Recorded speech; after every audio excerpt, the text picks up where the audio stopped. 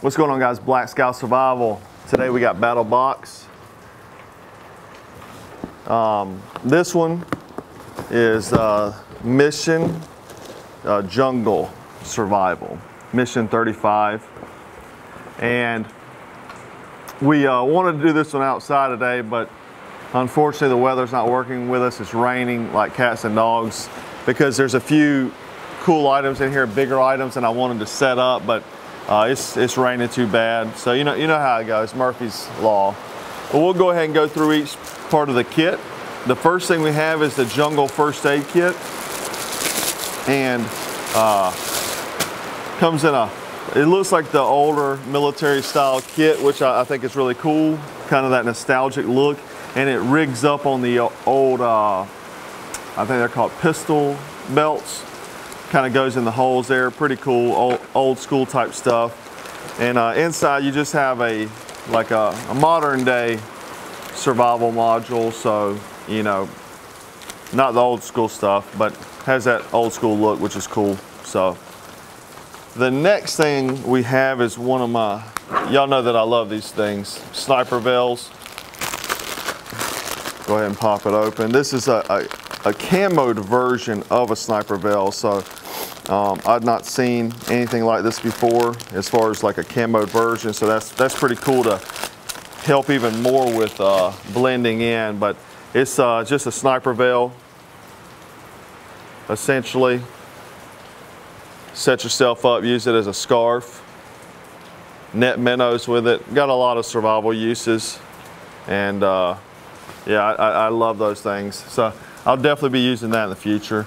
Um, the next thing we have is Rothco Army type insect repellent. This has got, uh, how much DEET is it? 30% DEET. So you need, you know, jungle, especially in the southeast. I mean, in the in the United States, probably the most thing closest to the jungle is the southeast, where like where we live at, Florida, South Carolina, Georgia, and uh, critters and, and everything, really humid environments, you know, uh, not across all the states, but in certain regions, very jungle type environments. The next thing we have is a mosquito head net. And if you've ever been to any of those places I just mentioned, you, you got to have one of these in, in, the summer whenever you try to go to sleep or, or, you're not going to sleep. This keeps the bugs off of you and, and uh, things like that. So good item to have. Um, the next thing we have is the Army GI style LED flashlight, not Army Marine style, we'll say. Um, but essentially it's like the old crook neck moonbeam, we call them in the Marine Corps. And uh, this one has LED, whereas the old ones didn't. You can clip on your yourself. It has a few different filters in here, just like the original does. So you've got different filter lenses. You got a blue, a red, a green, and an amber preserve your night vision, reading maps with the green. So a few different ones, and that stows in the bottom there. So, you know, these things are heavy, and, and before, like uh, Surefire and stuff, and, and Maglite came out um, with the uh, smaller one. This is what we carried. I carried one for a while until Maglite came out with uh, the small, I think, not the solitaire, but the mini mag everybody carried those until Surefire um, developed those. But that's all of your basic box stuff right there. Good loadout. Um, $24. I mean, that's a good amount of stuff, right, for $24. We can, we can agree on that. Um, the next thing we have is the Battlbox Jungle Hammock. And this thing comes with uh, straps and stuff like that. So you've got Atlas style straps like you would with an Eno. These things are great because you don't have to tie knots and all that crazy stuff. And you can just clip the hammock onto it. The hammock comes with more cordage to suspend the mosquito net. And I'm hoping here in a, uh, soon the uh, rain stops so I can actually rig it up so you can see it. Um, is what, what I'm hoping for. So. All right guys, so I have it rigged up. Uh, you can see these straps here. You just loop them in around and then it has daisy chains so you can hook it to the carabiner so there's no tying knots or anything like that. the wind's going nuts right now, so bear with us. But so you get the uh, lines too, and basically you run it through here, and this keeps the mosquito net off of you. So if you don't want to use the mosquito net, you can unzip and move it out of the way.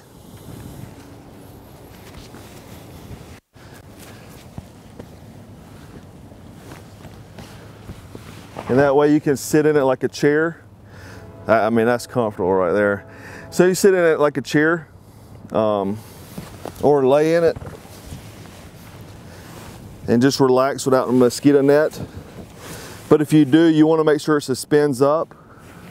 So that way the mosquito, it's not draping on you for one, or the mosquitoes, you know, aren't able to get to you because it's so uh, close on your to your face. So run those guy, guidelines through there and uh, get that done. But yeah, very good piece of gear, man.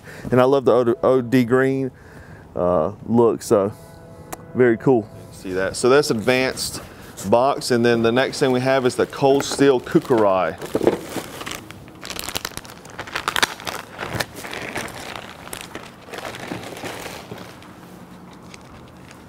We've reviewed this on our channel before. It's a great blade. Um, it'll get work done chops very well, good size, and, and, and a good piece of gear uh, for the price. So you get those two things. I mean, this is a good jungle uh, loadout already. So that's advanced. 50 bucks, you get a jungle hammock and this Kukri. You're not gonna get that kind of gear anywhere else. So um, the next we got Pro, and the Pro is uh, something that I've really been needing for a long time.